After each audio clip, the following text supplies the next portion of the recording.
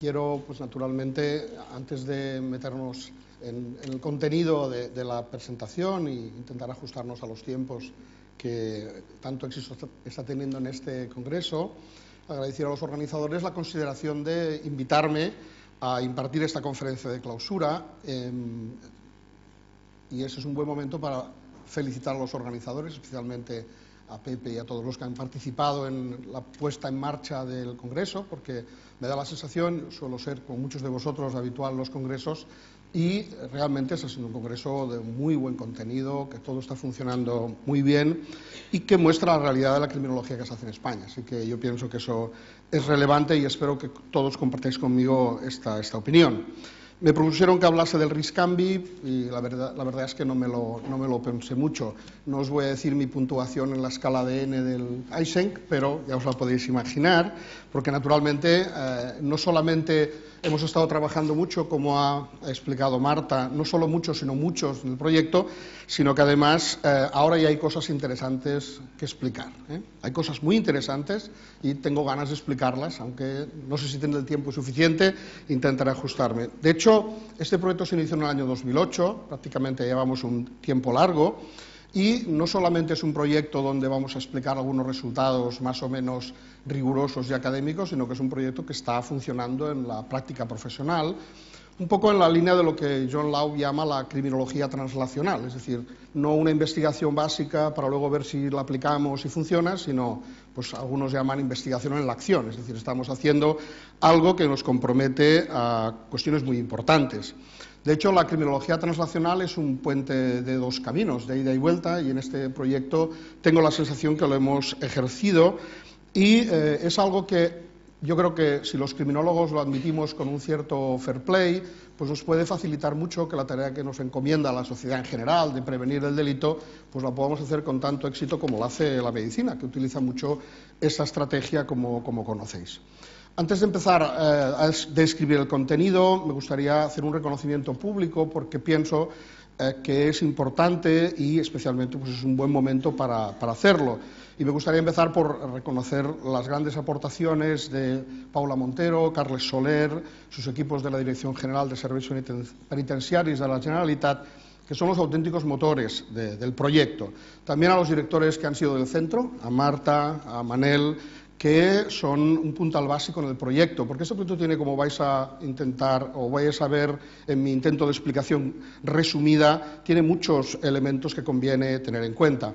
Me gustaría también hacer mención especial a los directores, subdirectores y personal de tratamiento de los centros penitenciarios que día a día están trabajando administrando este RISCAMBI con una mezcla de confianza y de crítica, crítica relativa, que como es natural, cuando a uno le vienen a decir cómo tiene que hacer las cosas y él tiene que hacerlas y firmarlas, no está mal que haya un punto de desconfianza y de crítica más allá del cumplimiento que yo pienso que está siendo, a pesar de muchas opiniones en todos los sentidos, pues un ejemplo como espero, espero demostrar. De hecho, hemos incorporado una tecnología innovadora en un campo de la gestión que ellos son los responsables en última instancia. Y para acabar, me gustaría también reconocer el trabajo de Santiago Redondo, Karin Arbach, eh, Tei y todo el resto de miembros del JEAP, que han ido pasando algunos ya no están vinculados directamente al proyecto, puesto que muchas de las cosas que voy a decir tienen que ver con estas personas que en el fondo han estado, están y espero que continúen trabajando. Em, el pasado octubre, después de haber trabajado durante unos cuantos días con un montón de datos recogidos justo en el año que he podido estar en el centro de estudios en mi sabático, referentes tanto al RISCAMBI como a la reincidencia, em, que es lo que les voy a hablar en un momento, hubo un momento donde compartí con mis colegas una sensación propia cuando uno encuentra algo que busca. De hecho, por fin, por fin, este día de octubre, vi que la odds ratio, calculada sobre una tabla de contingencia donde aparecían los pronósticos de riesgo de Riscambi y los datos de reincidencia violenta cruzados adecuadamente era superior a 1, pues enseguida les escribí a todos, les mandé el resultado diciendo que, bueno, podíamos respirar tranquilos porque desde hacía tiempo habíamos eh, comprometido a muchas personas en eh, el hecho de que esto que hacíamos funcionaba la odds ratio no era de 1, que hubiera sido un desastre, sino que era de cuatro, que no está mal. Básicamente les voy a describir con más detalle qué quiere decir esto. Eh, por tanto, las cosas parece que van por el buen camino, así que voy a intentar explicarosla. Pero antes me gustaría comentar eh, un elemento importante porque lo que voy a intentar es resumir algunas lecciones que yo creo que podemos compartir, al menos yo las he aprendido y creo que pueden ser de utilidad. En el año 2011 eh, pude resolver una curiosidad que les voy a compartir y de la cual saqué una buena lección y que será la primera de las que les hablaré en esta conferencia.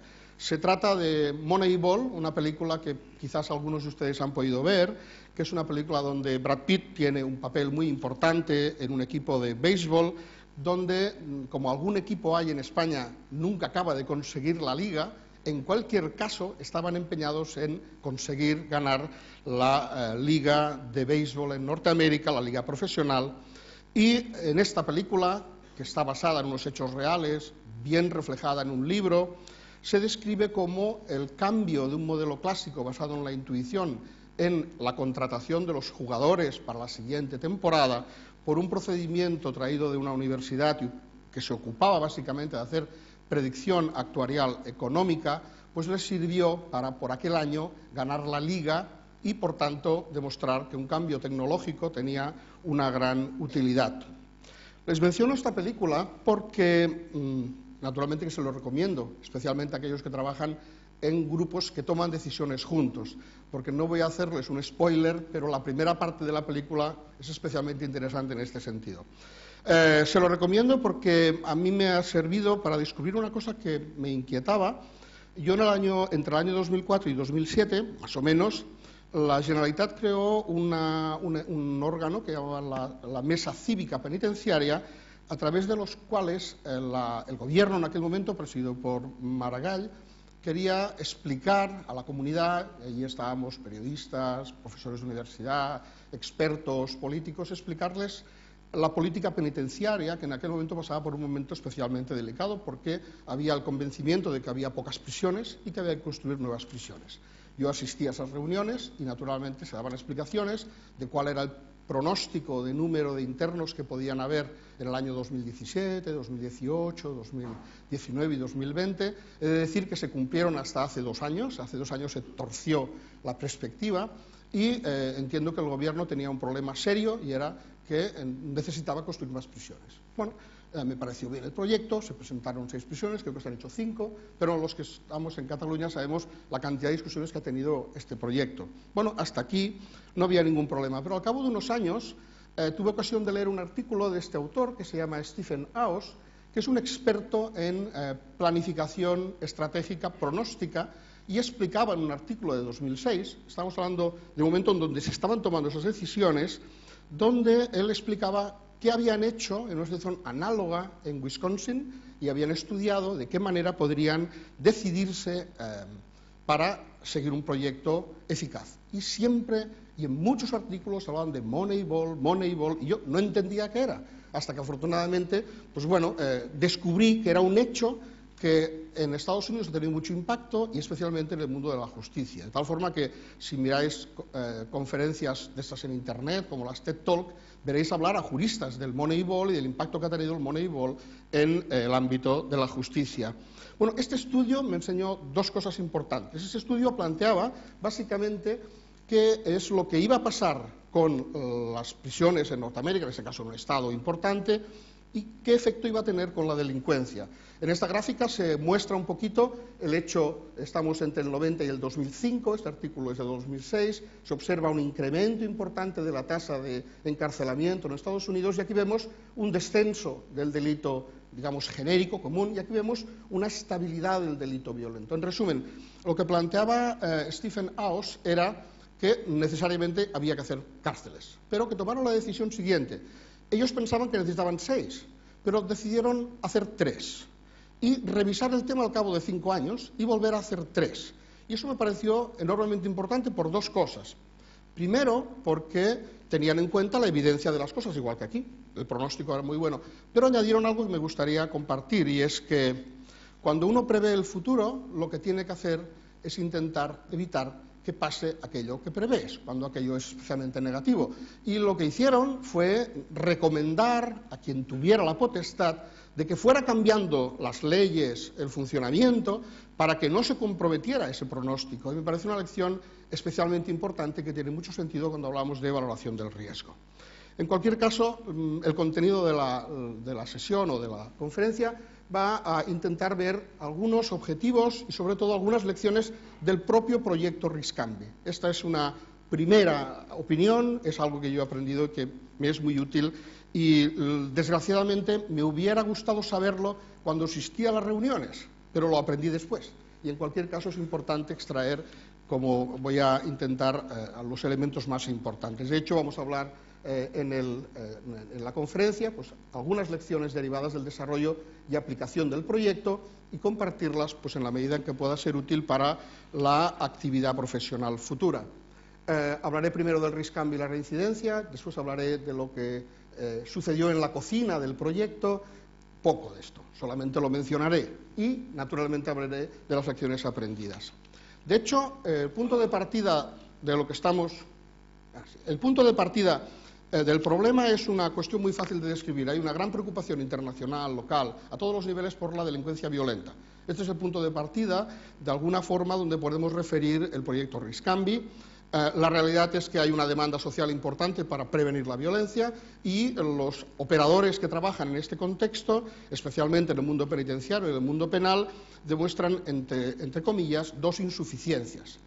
Una, eh, que los tratamientos parece eh, que son eficaces, pero no lo suficiente como para conseguir una reducción mucho más significativa de la conducta violenta y que el incremento del control punitivo tampoco tiene un efecto especialmente eficiente y ambos dos son muy caros y por tanto hay quien discute acerca de cuál puede ser la mejor solución porque indudablemente la sociedad encarga a los operadores que hagan una acción eficaz sobre la reducción de la conducta violenta y el grupo específico de delincuentes violentos preocupa en todos los lugares y son el motor de muchos cambios en las legislaciones y en el funcionamiento cotidiano de muchos eh, agentes sociales que trabajan sobre este fenómeno. Por tanto, naturalmente, si hay un fenómeno que muestra insuficiencias, afortunadamente la innovación lo que hace es incorporar nuevas soluciones que permitan continuar en esa labor. Yo creo que de forma muy breve podemos decir que en el periodo de los últimos 25 años han habido algunas innovaciones importantes. Una teórica, que sería la incorporación de nuevos modelos para explicar cómo intervenir y cómo gestionar el riesgo de la delincuencia violenta. Eh, a nadie le engañan estos acrónimos, el modelo de Andrews y Bonta, el modelo de las buenas vidas, buenas reflexiones que son post los primeros trabajos de la intervención más estrictamente penitenciaria. Una innovación técnica, la valoración del riesgo, de la que me ocuparé en breve, y también iniciativas que en la práctica se van planteando muchas veces porque la propia dinámica social promociona creatividad y nuevas soluciones, como sería la intervención postpenitenciaria. Naturalmente yo voy a ocupar de la innovación tecnológica, de la valoración del riesgo y lo que me parece interesante es considerar cuáles han sido los elementos básicos de esta innovación tecnológica. Eh, el motor de la innovación tecnológica es otra vez buscar soluciones a la delincuencia violenta, especialmente la violencia sexual y otras análogas que en cierto modo representan pues, uno de los retos importantes desde el punto de vista de los sistemas de política criminal y ejecución penal. En la psiquiatría forense de los años 90 este problema también estaba presente y era un problema que tenía un desencadenante importante y es que muchos de los pacientes a los cuales atendían los psiquiatras forenses tenían como uno de los riesgos de su malestar y problemas la conducta violenta, especialmente sexual también, pero en un colectivo de inimputables que se encomienda al tratamiento médico forense o psicológico y psiquiátrico y por tanto, en este contexto empiezan a aparecer instrumentos de valoración del riesgo y a partir de principios del siglo que estamos viviendo hay una generalización de estas técnicas que llegan al mundo de las prisiones encabezadas por la PCL. Pero detrás de la PCL muchos instrumentos nuevos que comentaremos muy brevemente que son conocidos, son instrumentos que se aplican para la valoración del riesgo, especialmente violento, aunque no todos son de esta naturaleza. Y estos protocolos se han extendido en muchos otros ámbitos, se comparten por la policía, en servicios sociales, y por tanto es una característica de la época actual que vivimos.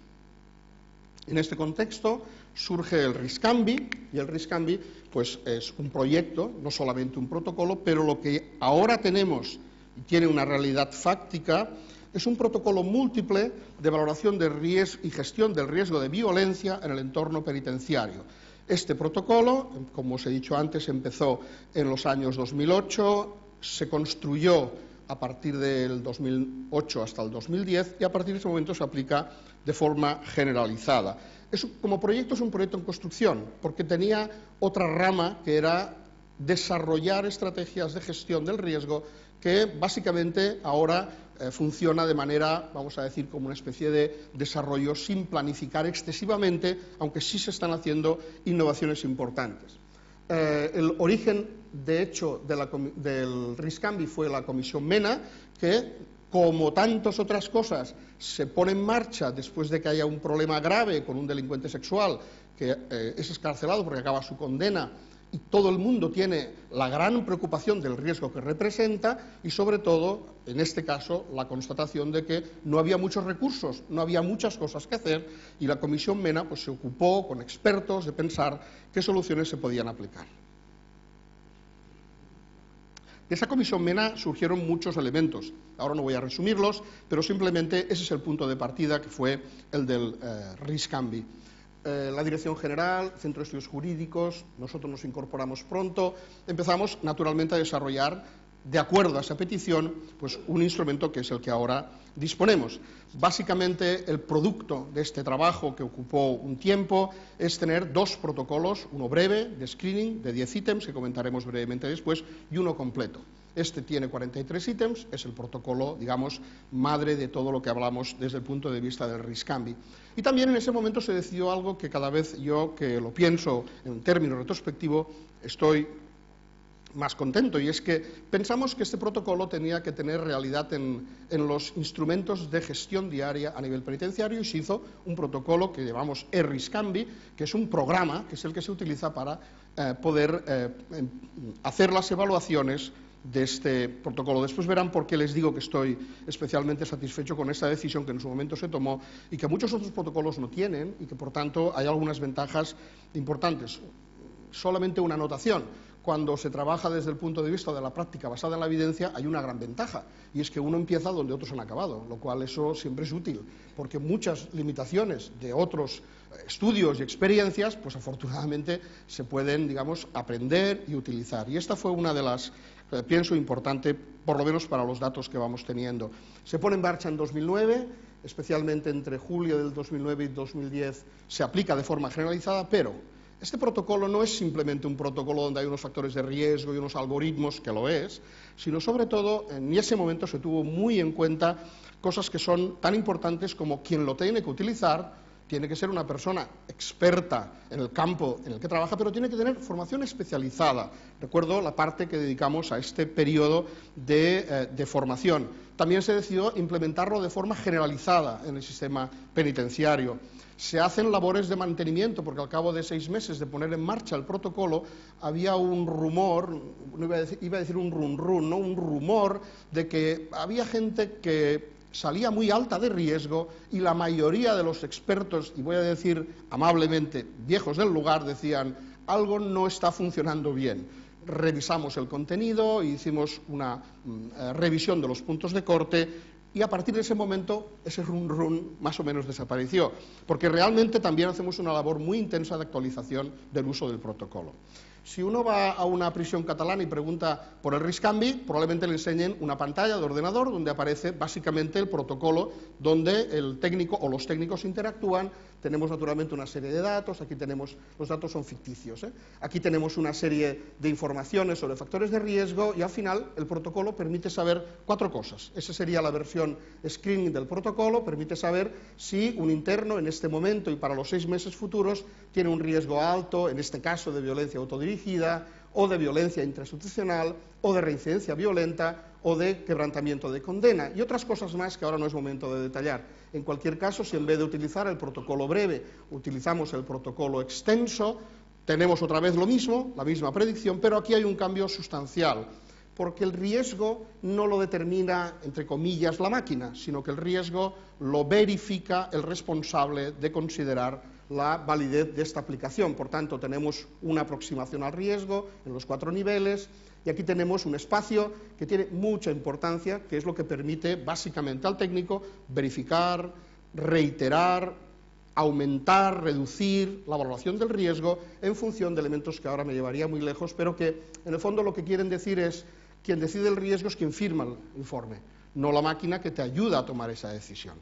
Bueno, em, desde el año 2009 hasta el 30 de mayo, datos que agradezco a la Dirección General, por supuesto, se han aplicado 37.649 eh, aplicaciones directas del, screening. A veces hay internos que tienen ocho evaluaciones durante el periodo que han estado evaluados en prisión y el completo tiene una... Eh, una, frecuencia de casos de casi 38.617 casos. Hay que pensar que el promedio de internos al año en el sistema penitenciario catalán debe ser de unos 15.000, así que ya se hace una idea de la magnitud de eh, este proyecto. Bueno, y la pregunta fundamental, bueno, ¿y esto funciona? ¿Funciona? Déjenme dos minutos y les doy la solución. ¿Por qué? Porque el proyecto va incorporando muchas más cosas que son las de simplemente hacer una predicción. De hecho, em, el impacto que tiene ha sido muy importante a nivel del sistema penitenciario por varias cosas. Primero porque en su momento se decidió aplicarla a todos los internos, a todos los internos desde el primer momento. Por supuesto que estas afirmaciones que hagan, todas se pueden acotar, pero en general se decidió hacerlo a todos los internos, no solo a los internos que estaban condenados por un delito violento. Y fue una buena decisión, como espero demostrárselo. Es multiprofesional, colaboran muchos responsables, como es propio también del sistema penitenciario. Es una herramienta que se ha convertido en muy útil para intercambio de información entre los profesionales, sirve de forma eficiente para la gestión, porque ayuda a la toma de decisiones, y hoy, como decía al principio, una de las grandes ideas del proyecto Riscambi era que tuviera una relación directa con el tratamiento y no hubo dinero para seguir el proyecto, pero los eh, responsables del departamento se han ocupado de que toda esa información se use. Y realmente hay aproximaciones muy interesantes sobre cómo vincular el programa de intervención individual con los mm, resultados del RISCAMBI. Por supuesto que además, como es un instrumento que tiene una enorme trascendencia en cuanto a que decide o ayuda a decidir cosas trascendentes, se decidió cuidar la fiabilidad y la validez del instrumento y por eso eh, cualquier valoración del riesgo que tiene un interno siempre está validada por un responsable que tiene un cuidado especial para evitar errores, en fin, para que la tarea se haga lo mejor posible. Siempre los usuarios son entrenados y de una forma más o menos reiterativa. Y también el departamento tuvo la gran eh, idea de constituir lo que se llama el equipo SOS Riscambi, que es algo así como un equipo que permite que los técnicos que utilizan el protocolo en sus centros y en sus casos, cuando tiene dificultades, que no son pocas veces, o dudas, o tiene alguna pregunta o alguna información relevante, acude a este equipo SOS Riscambi, que a través del sistema informático eh, no solamente le respuesta, sino que le responde, sino que acumula mucha información que ahora está siendo muy útil, que estamos revisando algunos aspectos de dificultades en la aplicación. Y naturalmente es un proyecto que necesita mejoras, que no voy a hablar ahora, pero están, están en camino. Además, el RISCAMBI, especialmente el RISCAMBI completo, se ha convertido en una gran base de datos. Piensen que si multiplican 35.000 evaluaciones por 43 factores de riesgo que se van acumulando históricamente y que están accesibles casi al apretar una tecla en un botón, eh, en un ordenador, realmente esto es importante. Pero déjenme que les añade dos o tres cositas. Primero, la información que se incluye no es la información ad libitum que cualquier técnico quiere, sino es la información que se recomienda o que forma parte del protocolo. Y además hay que hacerla de acuerdo a las normas que se regulan. Y la hacen por personas expertas, con lo cual esa información, algunos me miran y dicen, quizás no es tan válida, pues eh, piensen que es verdad que nada es todo o nada, pero en cualquier caso esa información es de una enorme utilidad. Les aseguro que eh, cuando uno tiene la tentación de responder preguntas, como por ejemplo, de repente aparece un nuevo tipo de delincuente en las prisiones, que es el delincuente adulto, o más que adulto, eh, talludito, que no tiene historia anterior y que aparece en el sistema. Bueno, es muy fácil coger y ver qué factores de riesgo están presentes y con eso tienes una información muy cercana que realmente te ayuda mucho a hacerte una buena configuración de qué es la realidad de los internos penitenciarios, que siempre sabemos que es muy heterogénea, pero podemos organizarla un poquito, porque si no vamos siempre oscilando entre que todos los delincuentes son pobres o que cada uno es de su manera, y por tanto no hay forma de encontrar un punto de equilibrio. Bueno, vamos a la pregunta. ¿Funciona? Bueno, pues afortunadamente eh, tengo algunas respuestas por darle, pero hemos de introducir brevemente eh, el estudio de reincidencia.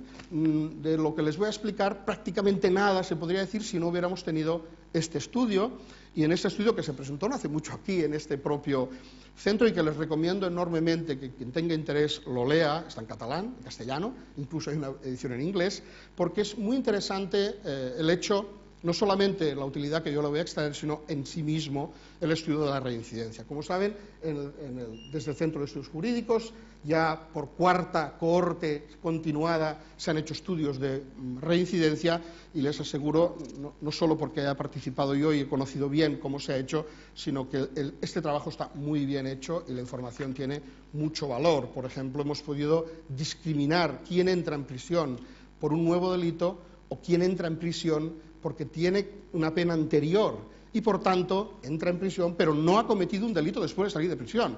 Y esto hay pocos estudios que lo tengan y para discriminarlo hay que tener la experiencia en buscar esa información. El estudio se realizó atendiendo a 3.414 casos, todos los que salieron en el año 2010 y que volvieron a ingresar en prisión en algún momento antes del 31 de diciembre del 2013 voy a presentarles algunos resultados que me son imprescindibles para comentar después si funciona o no el RISCAMBI en el plano de la valoración del riesgo de la delincuencia, perdón, del delito violento. El resultado más importante es la tasa del 30,2% que es obtenido, que es una tasa equivalente a algunos otros países occidentales, mejor que la de hace unos años, y en cualquier caso, pues el estudio es muy detallado, hay algunos elementos que, aunque solo sea para mencionarlos, pues nos muestran cómo la mayoría de los hombres tienen un nivel más alto de reincidencia, pero estadísticamente no hay una diferencia significativa, puesto que el grupo de mujeres tiene una prevalencia muy, muy pequeña. Los eh, nacidos en España tienen una reincidencia menor, los nacidos en el extranjero una reincidencia mayor, todo oscilando en términos del 30% y por tanto vemos cómo hay, pues naturalmente, cuando uno va desagregando este valor encuentra elementos relevantes. Más resultados interesantes. Bueno, eh, si distribuimos la reincidencia por el delito base, aquí aparecen cosas que son muy útiles desde un punto de vista de la intervención futura, como es eh, comparar las, eh, las tasas de reincidencia de delitos contra personas, de delitos de violencia de género, de delitos contra la libertad sexual, contra la propiedad. Estos son los delitos por los cuales los internos están cumpliendo condena. Eh, hay pocos estudios que hayan incluido los delincuentes viales y por tanto tenemos ya una primera aproximación interesante. Pero como es obvio, mi foco de interés es el delito violento contra el delito no violento, porque el protocolo de RISCAMBI se hizo para hacer predicción en este determinado tipo de delito que básicamente agrupa contra personas, de género, libertad sexual de una manera más explícita. Y como vemos, pues encuentra un resultado que es comparable con la mayoría de las investigaciones a nivel internacional, donde el delito violento es menos prevalente. Fíjense en este dato del 27%, porque para nosotros fue muy importante.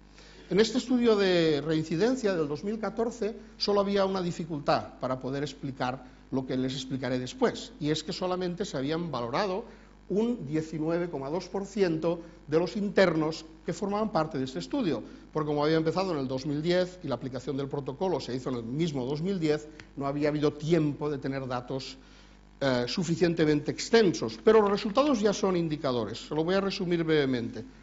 Eh, aquí tenemos en las líneas verdes la distribución del riesgo de, de delincuencia violenta futura eh, en las prisiones, en la prisión catalana, en este grupo de 3.400 casos, de los cuales el 19% se había evaluado. Como es natural, el nivel de riesgo responde a una distribución donde el riesgo bajo y el riesgo medio son muy predominantes y el riesgo alto pues ocupa un espacio del 18,7%. Les indico aquí la línea de reincidencia violenta del 27,6% en un intervalo de tres años. Eso es importante recordarlo. Bueno, pues cuando analizamos el componente eh, de cuántos habían reincidido, eh, se han borrado por algún motivo los datos, pero yo creo que a nivel gráfico es suficiente. La mayoría de los que no reincidieron eran de riesgo bajo, los que reincidieron de forma mediana eran de riesgo medio y los que más reincidieron fueron los que habían dado una valoración del riesgo alto. Pero era el 19% de la población, por tanto este resultado había que ver cómo se podía contrastar. Y ahora voy a explicarles algo más analítico, más detallado, un poco más eh, riguroso, porque esto simplemente nos decía, parece que las cosas van bien, pero había que tener información más eh, rigurosa, especialmente porque las decisiones que se toman con este protocolo suelen tener mucha trascendencia.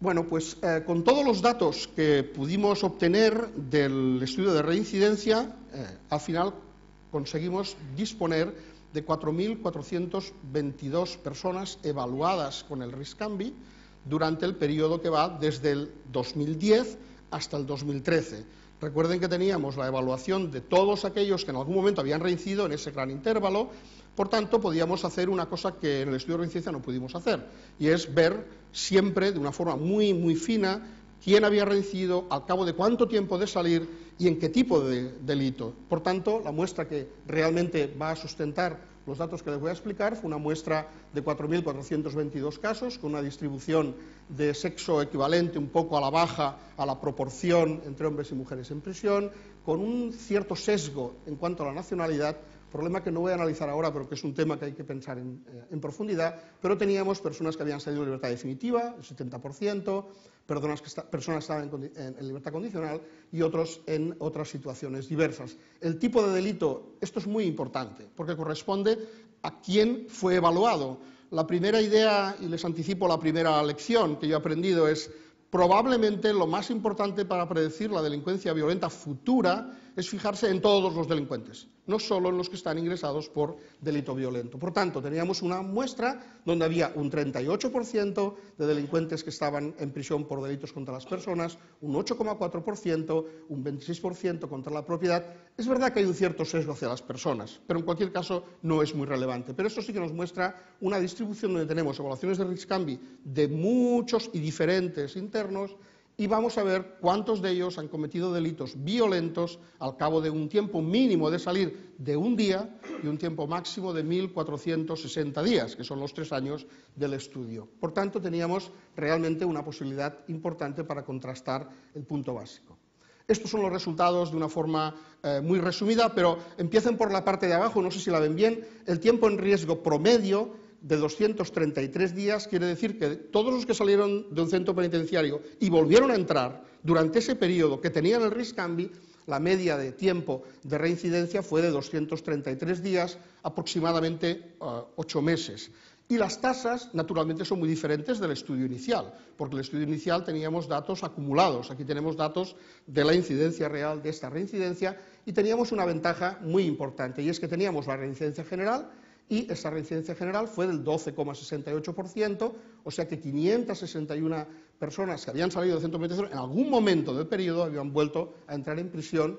Y por último, el grupo que había reincidido en algún delito de tipo violento era de 271, de 6,13%. Bueno, esas son las tasas que naturalmente son más bajas, pero están referidas a un periodo de ocho meses media, lo cual es interesante para ver un poco el resultado. Bueno, ¿cuál es la validez predictiva? Esta es la pregunta fundamental. La pregunta fundamental se resume con muchas horas de hablar, pero yo voy a intentar resumirlo brevemente con varias transparencias. La primera, que creo que es bastante gráfica, es esta. Aquí tenemos en la izquierda todos aquellos casos que se preveyó que el riesgo era bajo de reincidencia y que volvieron o no a la prisión en un periodo de tres años. El resultado fue bastante esperanzador. El 94% no había vuelto a prisión en ese intervalo y solamente un 6% había vuelto a prisión Si nos vamos al bloque donde hemos combinado el riesgo alto y el riesgo medio, observamos cómo realmente la proporción es muy diferente. El 77% sí había vuelto a prisión y el 23% no había vuelto a prisión, con lo cual aparentemente hay una gran capacidad predictiva, pero para resumirlo brevemente en un término como eh, es perceptivo, tenemos aquí algunas medidas que yo no voy a ocuparme demasiado, pero simplemente para verificar cuál es la capacidad predictiva. Este 4.72 y este 4.52 se obtienen de desagregar la población de dos formas distintas. Los delincuentes los clasificamos en alto riesgo y juntamos medio con bajo riesgo o decidimos juntarlos de alto y medio riesgo con los de bajo riesgo. Y lo que observamos es que hay una cierta variación en la capacidad predictiva, pero, y esto es muy importante, aunque ahora no voy a explicarlo con detalle, realmente lo que conseguimos con una combinación u otra es muy diferente. Si se fijan en la sensibilidad de este protocolo, que quiere decir algo así como saber qué porcentaje de los que reincidieron era previsto que reincidieran, tenemos aquí un porcentaje del 48-57% contra un porcentaje del 83,39%, que son aquellos que no reincidieron y habíamos previsto que como eran de bajo riesgo no reincidieron. Si se fijan, el cambio de la agrupación hace un efecto potente en estos dos elementos, de tal forma que depende de los responsables que quieran evitar eh, errores de tipo falso negativo o falso positivo, que elijan una de las dos. Me voy a quedar aquí porque eh, sería muy largo y yo quiero avanzar hacia las lecciones que hemos aprendido. Pero no me voy a estar de explicarles en cuatro transparencias algo muy importante, y esto realmente es útil para comprender la capacidad predictiva del RISCAMBI, que es el estudio de las curvas de supervivencia. Estas curvas de supervivencia representan cuántas personas que han salido de prisión no han vuelto a prisión al cabo de, en este caso, tres años. Y esta es la curva general de la curva de supervivencia. Esto representaría el 50% de la población y, como hemos visto, la tasa de reincidencia se estuvo en torno al 30% y, efectivamente, aquí lo que vemos es, si miráramos desde aquí hasta este punto, tendríamos aproximadamente un 70% de personas que estaban en prisión y que no han vuelto en prisión en tres años. Y esto se pudo hacer básicamente por el control, digamos, temporal del estudio. Bueno, eh, ¿Y esto afectó al nivel de riesgo? Este es el resultado más importante. Este resultado nos indica que aquellos que habían estado calificados de bajo riesgo por el risk completo o de alto riesgo por el risk completo o de medio riesgo tenían curvas de supervivencia diferentes, muy diferentes desde el punto de vista estadístico, con lo cual tenemos el bajo riesgo que nos indica algo así como al cabo de tres años el 91% de los que eran de bajo riesgo no han reingresado en prisión frente al 67% que no han reingresado en prisión que eran de riesgo alto. Estas curvas de supervivencia permiten respirar, porque las decisiones que se toman parece que están bien orientadas. Pero también lo hemos visto en el Risk and Screening. El Risk and Screening, aparentemente sencillo, de 10 ítems, tiene una capacidad para discriminar entre los que vuelven a prisión y no vuelven a prisión que es bastante relevante para el costo que tiene conseguir esa evaluación. Aquí tenemos los de bajo riesgo y aquí tenemos los de alto riesgo. Se cumple, por tanto, la idea de que este protocolo sirve para evaluar. Una primicia para los que estamos muy metidos en el RISCAMBI y también, naturalmente, para compartir con todos. Gracias al estudio de reincidencia, ahora sabemos no solamente si el RISCAMBI es capaz de predecir reincidencia violenta, que es lo que pretendíamos, y eso está mostrado en esta línea verde que representa el área bajo la curva de este protocolo, en concreto el screening, que es el primero que hemos analizado, sino que también tenemos datos de aquellos que vuelven a reincidir de forma en cualquier tipo de delito y aquellos que les condenan a una nueva medida penal alternativa. Y estas gráficas, no voy a entrar en mucho detalle, son dos versiones parecidas del Risk and Screening que nos indican que si esta línea diagonal representa el azar de poder calificar a alguien de alto o bajo riesgo y su respuesta futura, nos indican realmente una capacidad significativa donde la más precisa es esta en verde, que es para lo que se construyó el RISCAMBI, con una capacidad predictiva en este caso de 0,72 de área bajo la curva, pero los otros no son nada despreciables. Así que tenemos una primera noticia interesante y es que el RISCAMBI Screening es capaz de predecir la reincidencia general gracias, digamos, a estos datos que disponemos.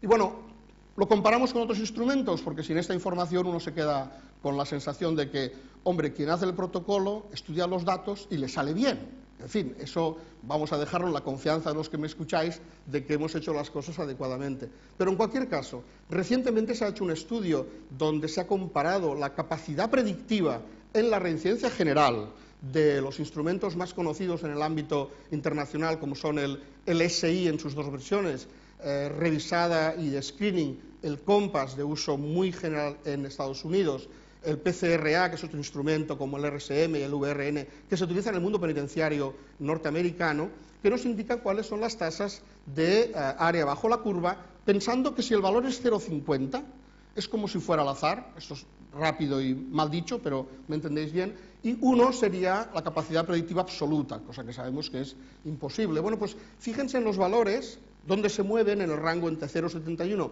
y 0,57 y los datos que tenemos ahora del risk y screening que responden a esa curva que les he enseñado anteriormente, cuando hablamos de residencia general, pues se sitúan en una bastante digna. Los expertos dicen que es una capacidad moderada de predicción, pero en cualquier caso, eh, desde el punto de vista del análisis, pues eh, nos da una cierta garantía de que las cosas se hacen por lo menos tan bien como en otros entornos que eh, llevan tiempo trabajando en estos protocolos. Bueno, esos son los datos resumidos. Realmente podía estar mucho más tiempo, pero tengo mucho interés en las lecciones. Eh, me queda todavía unos 25 minutos o...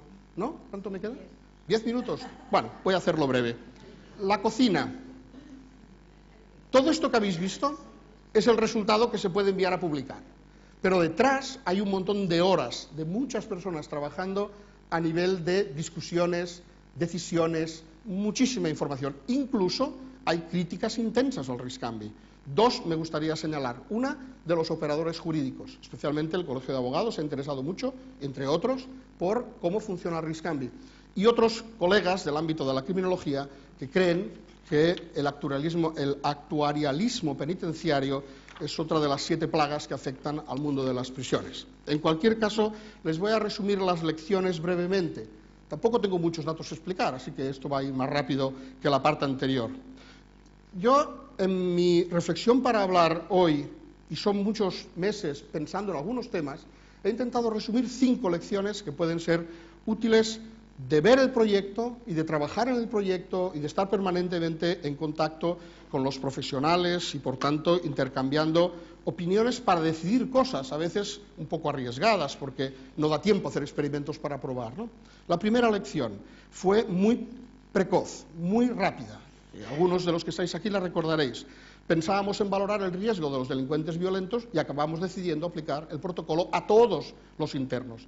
Los estudios de reincidencia nos dan muestra de que los internos pueden estar por un delito en prisión y cometer un delito violento al salir de la prisión. Y para un observador externo, la prisión no ha hecho nada, porque en el fondo lo que ha convertido es a una persona que tenía un problema de salud pública probablemente en alguien que cometió un delito muy grave. Solo fijarse en el alto riesgo es una trampa en las prisiones no hay tantos psicópatas como se dicen. Hay personas que tienen estos problemas. Lo importante es no equivocarse cuando se identifican. Por tanto, tener este tipo de aproximación nos ha permitido tener una buena eh, idea epidemiológica de la heterogeneidad que hay en las prisiones. Eso ayuda a tomar buenas decisiones, ayuda a adecuar los recursos y, sobre todo, y una cosa muy importante, ayuda a cambiar un poco la visión pesimista profesional de que no hay nada que hacer porque las cosas siempre van a ir mal. Pienso que esa es una primera lección que al menos yo he obtenido. La segunda, conocer la realidad presente, comprenderla y hacer prospectiva depende de los números. Y no hay otro camino, al menos por hoy. La realidad actual nos muestra que la práctica basada en la evidencia, ayer tuvimos una magnífica conferencia donde básicamente se trataba de garantizar que los números que utilizamos estuvieran bien reflejados y bien registrados, disponer de grandes cantidades de datos. Les anuncio que ha entrado en el ámbito de la evaluación del riesgo un grave, grave competidor, que es eh, Microsoft eh, Company, que ha propuesto al gobierno americano, tienen ocasión de verlo en Internet, hace muy pocas semanas, un protocolo actuarial para reducir el gran problema de, las prisiones norteamericanas. Y es un competidor duro, porque ha prometido utilizar la inteligencia artificial y los modelos matemáticos más sofisticados para reducir el 93% de la reincidencia en Norteamérica. Así que realmente estamos en un mundo donde este tipo de elementos forman parte del día a día. Además, hoy podemos utilizar los números con gran facilidad. ¿Por qué? Porque las tecnologías de la información nos permiten disponer de esta información y yo creo que en, un futuro no muy lejano eh, los profesionales del mundo de la justicia harán un poco como los profesionales del mundo de la medicina. Trabajarán dando servicio y habrá que investigar de forma habitual y de forma eh, simultánea, como predicen algunos defensores de la criminología translacional. Tercera lección. Los profesionales tienen que tomar decisiones fundamentadas en conocimientos, no en creencias. Son las lecciones que yo he aprendido. Son lecciones que quiero compartir, pero naturalmente pueden haber otras y diferentes. Los profesionales tienen responsabilidad de obtener buena información, de compartir esa información, porque eso es fundamental para tomar decisiones aquí y ahora y en el contexto de una organización. Y eso realmente forma parte de un problema que no es propio de la valoración del riesgo, sino que tiene que ver con otras competencias, pero fundamentalmente eh, tienen una implicación directa en este protocolo. Cuarta lección, eh, esta es más atrevida, en mi opinión. Eh, hay que avanzar un paso más en la aplicación de los programas de tratamiento, porque ya he preguntado al principio, parece que funcionan, pero funcionan poco, y por tanto hay que hacer algo más. Y en eso eh, simplemente, y son dos cosas que podemos aceptar fácilmente, sobre todo la primera, hay que mejorar lo que funciona. Pero a mí tengo una duda, por eso he puesto un interrogante, no estoy tan seguro de que la dinámica habitual de vincular los programas solo y exclusivamente al tipo de delito sea una buena estrategia cuando en algunos casos algunos internos no se ajustan muy bien a los programas y por tanto pone de manifiesto la importancia de la individualización. De hecho, las recomendaciones que yo me atrevería a decir después de la experiencia de estos años es que la individualización tiene, no como en los años 70, la base en el temperamento humano que está escrito en la ley de orgánica general penitenciaria, sino fundamentalmente en el riesgo y en la modularidad de los programas. Eso es un tema que yo no soy experto, pero en cualquier caso pienso que merecería la pena eh, considerar. Y una cosa que sí me parece muy relevante de los últimos años y es hablar de la reinserción segura. Es un término que a mí me gusta especialmente porque cuando se plantea la dicotomía entre hay que hacer que la gente se reinserte o hay que hacer que se eviten los delitos, tenemos una solución que generalmente, aunque pueda parecer un poco aprovechada, es combinar ambas cosas. La sociedad reclama seguridad, pero no necesariamente eso quiere decir que sea a costa de la reinserción. El problema que plantean es muy difícil cómo conseguir que esto funcione a la vez, porque hay que asumir riesgos y estos riesgos a veces realmente, pues como siempre pasa con los riesgos, dan razón a su existencia y se cometen delitos nuevos. Por tanto, desde un punto de vista de la reinserción segura, sería muy relevante analizar y trabajar en la intervención postpenal y también considerar el papel que en un futuro puede tener el criminólogo en la gestión del caso, que es una de las formas habituales, de forma implícita se hace, y de forma explícita se podría hacer para conseguir este objetivo. La última, eh, romper el círculo. Em, esta es una cuestión interesante. Tiene que ver con la reincidencia y tiene que ver con estudios que realmente en los últimos meses discutimos en el contexto del Reser Caixa. Y es que hemos de capitalizar, no sabía qué palabra poner, eh, apoderar no me gusta mucho, pero en cualquier caso es lo mismo, al actor, a la gente, para que no vuelva a reincidir. De hecho, cuando hablamos de segunda oportunidad como nombre genérico o bien como el programa que se utiliza para el reente en Estados Unidos, la clave está en romper el círculo de la reincidencia. Durante el primer año pospenal es cuando hay tasas más elevadas. Habría que conseguir romper ese círculo para que básicamente el proceso de reinserción pues, pudiera continuar con una cierta normalidad. Pero quien es el protagonista es el actor. No debemos hacer por él lo que él debe hacer, porque naturalmente eso nos evita tener también muchos problemas desde el punto de vista ético y sobre todo perder la sensación de que la ingeniería social va a resolver los problemas de las personas. En cualquier caso, creo que eso, incluso cuando los coches eléctricos nos lleven de un sitio a otro, no creo que resuelvan todos los problemas del tráfico, aunque ahí dice, dice que sí, por lo menos el de los delincuentes del tráfico, porque si uno va en un coche que va él mismo y es inteligente, probablemente nunca supere la velocidad que marca la ley y los coches no toman alcohol. En cualquier caso, romper el ciclo requiere la colaboración de otros operadores que no sean solo los responsables del ámbito de justicia. Esa es una última cosa que me gustaría comentar. Muchas veces se oye que lo que sucede con los delincuentes que han estado en prisión es responsabilidad de los que lo tenían en la prisión. bueno, yo creo que hoy ya tenemos claro que todos los operadores tienen mucha importancia en este proceso y que los primeros que deberían entender eso son los gobiernos, porque parece que entre los departamentos no, hay manera de entenderse y simplemente parece como que los responsables son estos, los responsables son aquellos otros.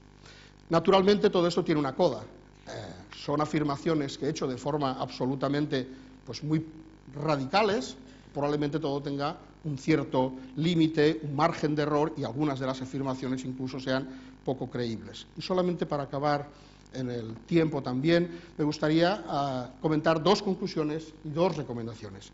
Eh, las conclusiones del proyecto RISCAMBI es que las cosas van yendo razonablemente bien, que está a medio construir, pero que es necesario revisarlo y calibrarlo, porque ese es un instrumento que tiene muchos elementos dinámicos y, por tanto, hay que estar siempre trabajando con este tipo de ajuste. Y esto vale para el RISCAMBI y para cualquier otro protocolo de valoración del riesgo.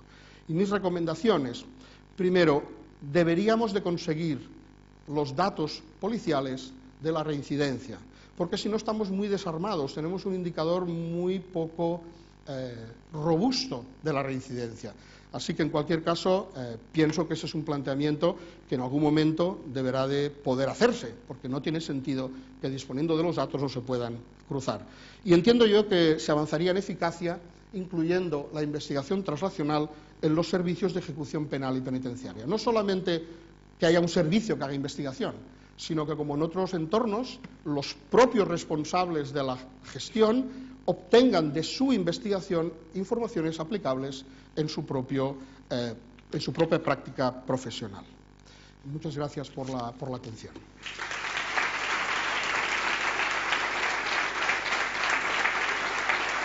Gracias, Antonio. Como os decía, pues seguro que todos hemos aprendido de, sus aportaciones.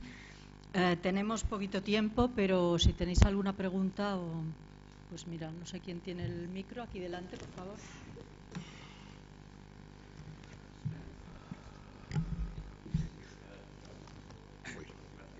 Voy a confesar a Antonio que le he dicho al principio de su exposición que si no me aburría me dormía, que si me aburría me dormía porque esta noche he de confesar que he ido a dormir muy tarde. Bueno, gracias Antonio, ha sido me ha encantado la conferencia. Y mi pregunta es, es quizás no directa de, tu intervención, pero sí de sus implicaciones. Y, la, pregunta es la siguiente. Eh, cuando una persona eh, está clasificada de alto riesgo, las posibilidades que tiene, de acuerdo al RISCAMBI, las posibilidades que tiene, creo, me corregirán nuestros compañeros de, instituciones penitenciarias de aquí, de, ser, de tener permisos, de tener el tercer grado, son prácticamente nulas. Un fiscal me decía, que estuvo aquí también el otro día en la mesa en la mesa ronda, me decía, bueno, si a de prisiones me llega una cosa con riesgo alto, que no me digan que le dé un permiso. Cierto, ¿no? Entonces, mi pregunta es, eh, ¿Qué, implicación tiene, a tu juicio, el riesgo alto desde la perspectiva del sistema progresivo, de que una persona, pese a tener riesgo alto, pueda tener permisos, pueda participar en el tercer grado, etcétera, con unas condiciones? O es, que realmente, y me da la impresión, quizás estoy equivocado, de que la clasificación en riesgo alto implica que usted está excluido del sistema progresivo y que va a acabar la condena en libertad definitiva y, por tanto, con mucho más riesgo de reincidencia posterior. Tres, perdón, tres cosas importantes. Primero, los protocolos de valoración del riesgo del RISCAMBI no clasifican personas. Esa es una concesión al lenguaje vulgar. Es decir, una persona no es riesgo alto, sino que en este momento, en los próximos seis meses y para la conducta violenta, el riesgo es elevado. Y el riesgo es elevado no quiere decir que esté determinado a que eso suceda. Por tanto, el segundo elemento, que es lo que yo quería hablar cuando os he comentado la anécdota del Laos y del Moneyball si uno sabe que el riesgo es alto, lo que tiene que hacer es saber en qué contexto se puede gestionar, regular, para poder adecuar las medidas, que en este caso yo creo que la ley, yo no soy un experto, pero me da la sensación que va caminando en esa dirección de intentar ajustar, pues naturalmente la libertad vigilada no deja de ser una medida de gestión del riesgo, porque puede adaptarse. Por lo tanto, yo creo que en principio no es una especie de gran condena como si era la aplicación del concepto de peligrosidad criminal. En cualquier caso, ese es un reto importante a tener en cuenta. Es decir, las personas no se clasifican, sino en este momento, para este tema, lo cual es muy, muy importante, porque si no lo que ya haríamos un poco, y, en, las discusiones del RISCAMBI se planteaba, pues sustituíamos la clasificación penitenciaria por el nivel de riesgo. Son cosas diferentes. Yo creo que es importante mantenerlo desde un punto de vista práctico, porque hay niveles de riesgo alto manejables y otros que no. Pero eso ya es un elemento importante de cara a la persona que puede tener ese riesgo, que naturalmente siempre se atribuye a alguien capaz de hacer un acto de forma individual.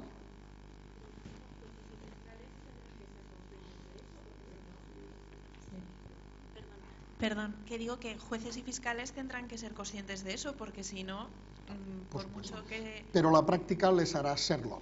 Sí. Porque las demandas que tienen muchas veces son realmente chocantes, porque se encuentran con personas con un historial delictivo muy reducido o inexistente, con conductas calificadas de muy graves, pero que los propios responsables entienden que ciertas medidas son demasiado eh, eh, impactantes y dañinas y por tanto hay que buscar, y eso es un problema de tiempo, porque la sociedad, igual que demanda mucho rigor con algunos delitos, otras veces no, por tanto es un tema de interacción eh, entre los operadores y los instrumentos de valoración pueden ayudar a tomar esas decisiones, pero les quedan las manos de ellos. Como disponemos de muy poco tiempo para preguntas, lo que vamos a hacer es, aquí tengo la pregunta de Juanjo y si alguien más Vale, pues allí hay dos más y las hacéis todas y Antonio que las conteste. Déjame móvil. Porque así iremos, iremos más deprisa. ¿De acuerdo? Pues aquellas dos, algún, ¿alguien más tendría una pregunta que hacer? Vale, pues perfecto. De, alguna forma incidir mm, desde otro ángulo también en, en, este tema. ¿no? Digamos que los estudios de evaluación de riesgo han llegado a un momento, aquí en Cataluña lo habéis dicho digamos que ahora entramos en la nueva generación de cómo aproximarnos a estos enfoques, no solamente en, cuestión de utilizar algoritmos más sofisticados de, inteligencia artificial, sino también empezar a, plantear cuestiones que hasta ahora no se han realmente pensado bien, que son todas las cuestiones sobre justicia y transparencia de estos algoritmos, porque eh, existe un riesgo muy real ah, que pueden reproducir ah, sesgos sociales y sesgos institucionales. Ah, porque en la medida que están valorando como factores de riesgo determinadas cuestiones que sabemos que no se aplican de forma aleatoria en la población, pues pueden ayudar a, reproducir ese tipo de cuestiones. Y estamos viendo que hay un debate dentro de la comunidad en inteligencia artificial, pero también legal, en la que se plantean estas cosas. ¿no? Es decir, si tú en Google Imágenes ah, pones tres jóvenes blancos, te van a salir tres personas con sonrisas de, anuncio de pasta dentífrica, muy jóvenes, muy tal. Tres jóvenes negros y te salen imágenes de chicos delincuentes y tal, ¿no? El algoritmo no es racista, la sociedad, los datos históricos reproducen esos, esos sesgos. ¿Qué planes tenéis aquí en, vuestro equipo para empezar a evaluar de qué forma estos son, pueden ser problemas que de alguna forma tiene el Sí, yo quería comentar eh, una cosa en relación con la pregunta que ha hecho al principio Pepe Cid sobre el tema del riesgo alto.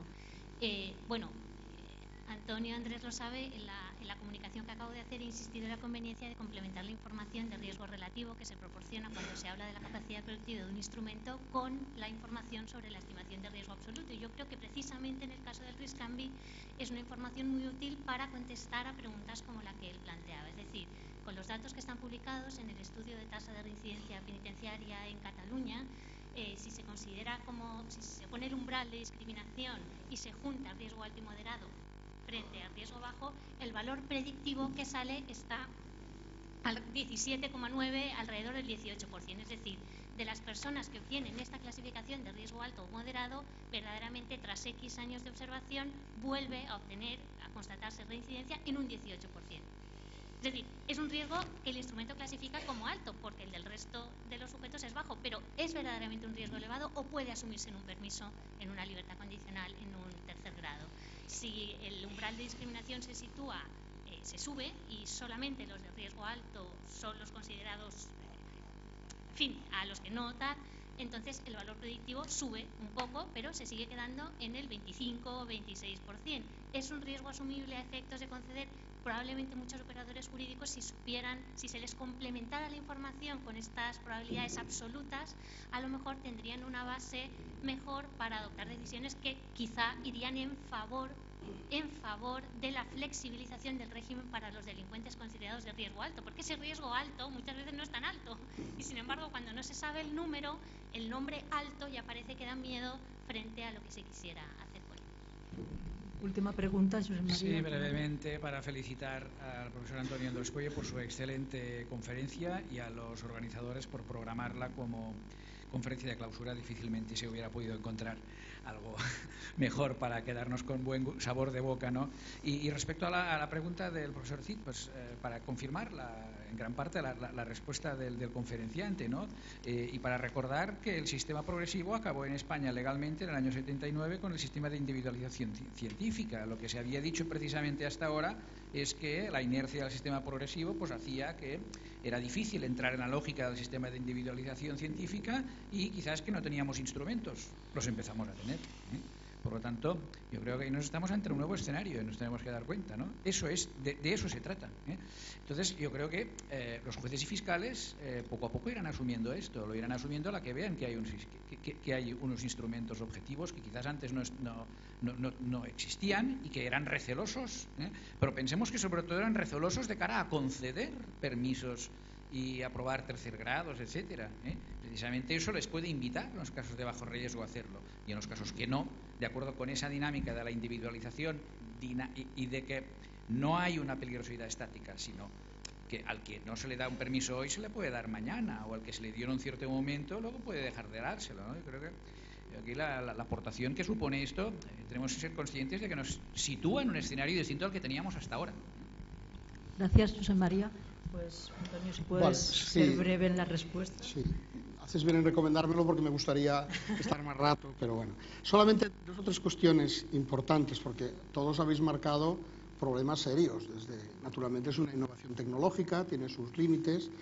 Eh, en concreto, con lo que decía Juanjo, hay dos temas muy importantes. El origen de los protocolos fue precisamente dar respuesta al problema de la transparencia de las decisiones, especialmente en el ámbito clínico psiquiátrico, donde el juicio clínico del, experto era suficiente como para decir que una persona con un trastorno esquizofrénico pues tenía una probabilidad muy elevada de volver a cometer una agresión. Y básicamente el primer paso fue decir, bueno, ¿y usted en qué se basa? La respuesta es en mi experiencia y en mi calificación. Bueno, eh, naturalmente eso es insuficiente. Si mezclamos esta idea con la investigación de metaanálisis de práctica basada en la evidencia, naturalmente cualquier técnico que utiliza este protocolo tiene más herramientas para demostrar la transparencia. De hecho, estos días hay una discusión que además la has recogido perfectamente bien sobre el COMPAS. COMPAS es un protocolo que se utiliza muchísimo sobre si su algoritmo de cálculo sesga en contra de los internos de raza negra.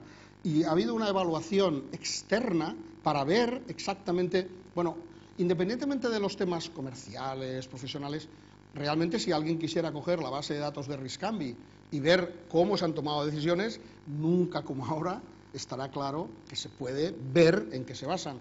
Eso es un equilibrio, por supuesto, eso siempre tendrá un punto y que lo quiero relacionar con la respuesta, con la pregunta de, Lucía, una pregunta muy inteligente, muy interesante y además, eh, bueno, eh, uno de los temas que solamente tiene una respuesta un poco estratégica y es posiblemente las vueltas que le demos a la predicción actuarial no puedan resolver nunca ese problema.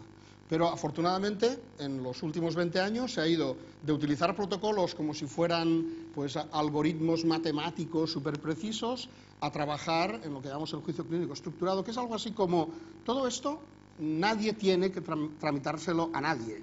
Simplemente la Junta de Tratamiento se reúne, discute, toma decisiones. Al juez de vigilancia penitenciaria le hacen un informe y ahí es donde realmente hay un cambio sustancial. El responsable de esa evaluación tiene que tomar la decisión de o verificar el nivel de riesgo o ajustarlo. ¿Por qué? Porque él sabe dos cosas. Uno, conoce bien el caso, o debería, y es un experto. Y entonces lo que tiene que ver hasta qué punto la relación entre lo ideográfico del caso y el conocimiento científico encajan. Y el campo de la violencia de género es un gran banco de pruebas donde realmente no se cumple una cosa tan sencilla como es el riesgo elevadísimo que tienen algunas mujeres de personas que si los analizáramos en clave criminológica serían mucho mejores que la mayoría de los delincuentes de cuello blanco. Y por tanto esa paradoja nos eh, comporta siempre una duda muy importante. Así que es, es verdad que es un problema, ahora se tiende más a ir responsabilizando más al técnico de cómo evalúa que trasladar una decisión actuarial tan precisa. Pero esto es una, opinión. Hay quien considera que lo que hay que hacer es conseguir una precisión mayor, una adecuación de los algoritmos más fina.